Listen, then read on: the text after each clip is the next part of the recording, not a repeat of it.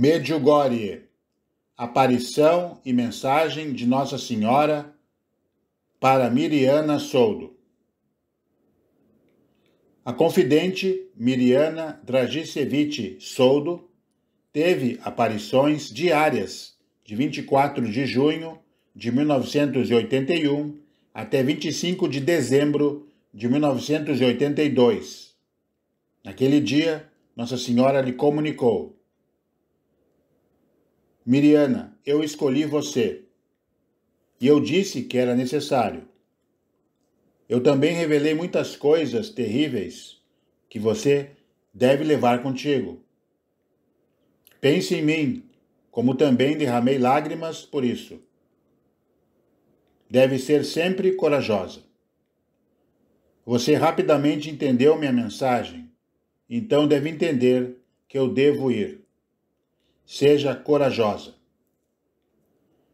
Confiando-lhe o décimo segredo, Nossa Senhora disse-lhe que teria uma aparição anual por toda a sua vida, todo dia 18 de março, que é o aniversário natalício de Miriana Soldo.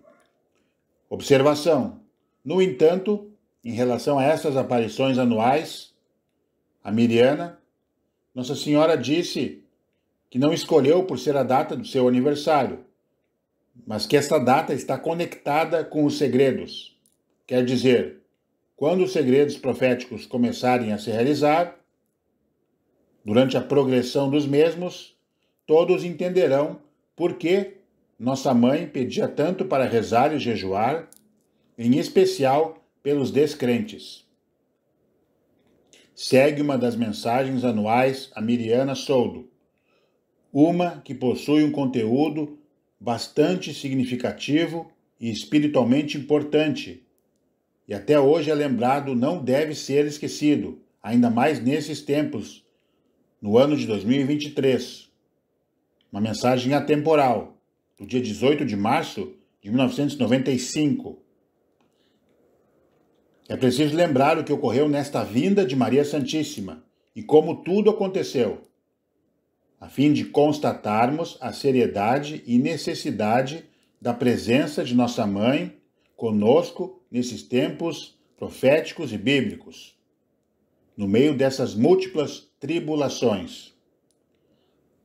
Esta aparição durou cerca de dez minutos e logo após, a confidente Miriana retirou-se para o seu quarto chorando. Preste atenção no que ela disse sobre seu encontro com Nossa Senhora. Eu rezei junto com Nossa Senhora três Pai Nosso e três Glória ao Pai.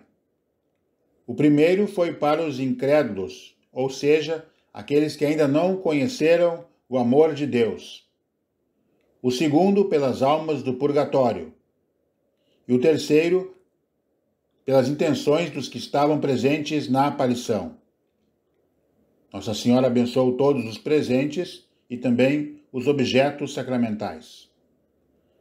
Durante a aparição, Nossa Senhora não estava alegre como em outras aparições, no dia do meu aniversário. Ela falou sobre os segredos, mas eu não posso dizer nada sobre isso. Quando perguntaram a Miriana por que ela chorava, e se Nossa Senhora tinha dado uma mensagem, a confidente dos segredos respondeu: É tão difícil para mim quando Nossa Senhora vai embora. O encontro com ela é preenchido de tudo e me sinto completa. Mas quando ela sai, percebo que estou aqui na terra. Tenho que continuar sem ela, como se eu estivesse sozinha, embora não esteja. É realmente difícil, muito difícil. Na mensagem, Nossa Senhora falou sobre o amor que precisamos vivenciar. Seu desejo é que as pessoas amem uns aos outros, porque Deus é amor. E se amarmos a Deus, vamos amar uns aos outros. Percebi que essa mensagem é uma mensagem de consolação e de que não devemos ter medo se tivermos amor. E Miriana Soldo revela a mensagem de Nossa Senhora, que foi transcrita logo após o término da aparição. Escute com o coração e com os olhos espirituais abertos. Disse Nossa Mãe Santíssima: Queridos filhos, como mãe, por muitos anos ensino a vocês sobre a fé e o amor de Deus. Mas vocês não demonstraram gratidão, não deram glória ao Pai querido. Vocês se tornaram pessoas vazias e seus corações se tornaram duros e sem amor para com o sofrimento do seu próximo. Eu lhes ensino amor, lhes mostro que o Pai querido os amou e os ama, mas vocês não o amam. Ele sacrificou o seu filho para a salvação de vocês, meus filhos. Se vocês não amam, não irão conhecer o amor de seu Pai. Não irão conhecê-lo, porque Deus é amor. Ame e não tenham medo, porque, meus filhos, no amor não existe temor. Se o seu coração está aberto para o Pai e estão cheios de amor por Ele, então por que ter medo do que está por vir?